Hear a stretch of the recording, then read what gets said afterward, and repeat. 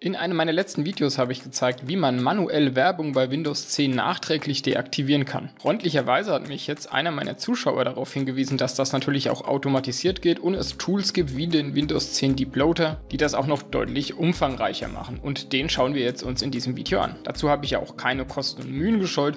Ich habe sogar meine Windows VM komplett neu aufgesetzt mit dem aktuellen Windows 19.09 Update, so dass wir mal sehen können, was bei so einer frischen Windows 10 Installation alles noch an Werbung vorinstalliert installiert ist.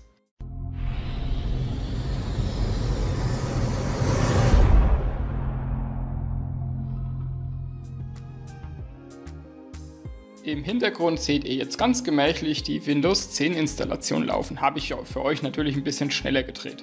Die ISO-Datei habe ich also direkt von Microsoft und habe das in meiner VMware installiert. Zu Windows 7 Zeiten kann ich mich noch erinnern, da hat man dann auch wirklich eine saubere Windows-Installation gehabt, ohne Zusatzsoftware vom Hersteller drauf. Hat man einen PC im Handel gekauft, ist da oft eine Recovery-Partition vorinstalliert gewesen vom Hersteller des Gerätes und wenn man die zur Installation von Windows benutzt hat, hatte man die ganze Bloatware vom Hersteller drauf. Bloatware beschreibt halt Software, die vorinstalliert ist. In der Regel bekommt der Hersteller Geld dafür. Das kennt ihr auch in Android zum Beispiel, wenn ihr ein Samsung oder Huawei Handy habt. Die haben dann wiederum ihre eigenen Apps drauf. Und das ist ja nicht immer im Sinne des Benutzers. Ich möchte ja als Benutzer eigentlich ein möglichst nacktes Betriebssystem haben und ich installiere mir selbst eben dann, was ich brauche, nach. Ja, bei Windows hat das jetzt leider auch um sich gegriffen, sogar in der Original-ISO-Datei von Microsoft. Ich verschaffe mir hier jetzt erstmal einen groben Überblick, was überhaupt an Werbung vorinstalliert ist. Am auffälligsten ist das Ganze natürlich hier im Startmenü. Ich habe jetzt seit Jahren auch Windows 10 installiert und den Shop braucht man eigentlich nicht, wenn man den als Desktop-PC einsetzt. Also auch das ist irgendwie unerwünscht. Was leider auch immer wieder mit installiert wird, ist OneDrive. Und wir schauen uns jetzt gleich mal den Deploter an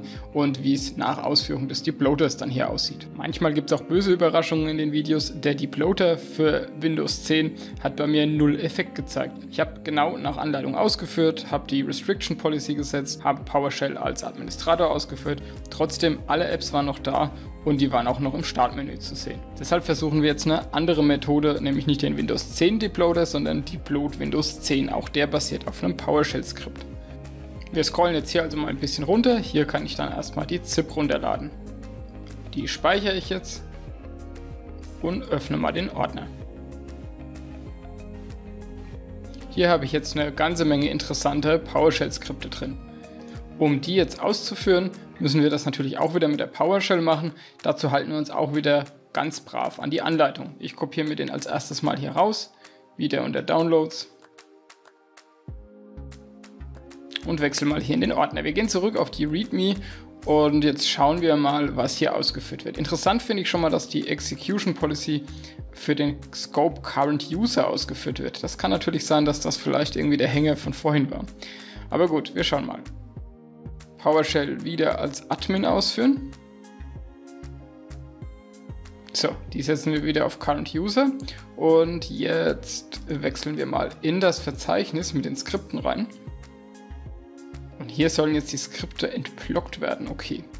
Ich kenne mich mit PowerShell nicht aus. Ich führe einfach blind aus, was da steht. So, install all available updates of for your system haben wir gemacht. Edit scripts to fit your need. Wir lassen die so, wie sie sind. Und die sollen als Administrator ausgeführt werden. Open Windows PowerShell, Open Windows PowerShell als Administrator. Haben wir gemacht, habt ihr gerade gesehen. Gut, das äh, Computer neu starten ist ja dann erst, nachdem wir diese Skripte ausgeführt haben. Schauen wir mal, was der für Skripte im Angebot hat. Die sind ja benannt.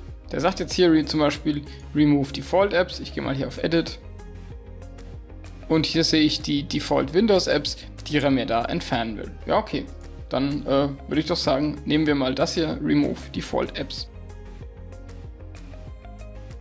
Ich sage Run Once und nochmal mit R bestätigen. Und jetzt tut er auch offensichtlich was, weil ich hatte gerade noch die Wetter-App äh, hinten offen, die hat er mir jetzt gerade abgeschossen.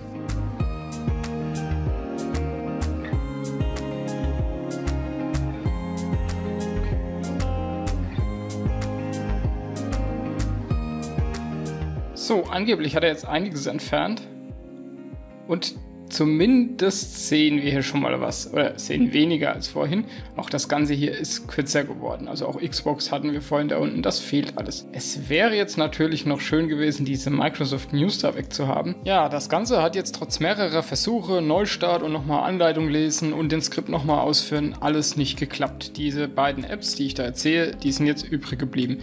Die habe ich jetzt ganz klassisch Rechtsklick Uninstall und deinstalliert. Funktioniert natürlich auch und das Skript hat mir auch tatsächlich Arbeit abgenommen. Insgesamt finde ich es aber umständlich, weil bis ich dann jetzt die ganzen Skripte runtergeladen habe, habe ich auch eben die Apps deinstalliert, wenn ich am Ende eh noch zwei Apps manuell deinstallieren muss. Es gibt also aktuell noch keine so richtig zufriedenstellende Lösung, wie man schnell und einfach Windows 10 Bloatware loskriegt. Beide Skripte sind allerdings noch in der Entwicklung, das heißt, diese Sachen können auch gefixt werden und vielleicht ist es ja in Zukunft besser geworden. Ihr könnt ja mal die Kommentare nutzen, ob ihr es geschafft habt, mit einem der beiden Skripte eure Bloatware loszuwerden. Zu Windows 10 habe ich noch mehr Videos gemacht, eine kleine Auswahl davon bekommt ihr jetzt hier im Abspann präsentiert, mit denen könnt ihr Windows dann weiter an eure Bedürfnisse anpassen.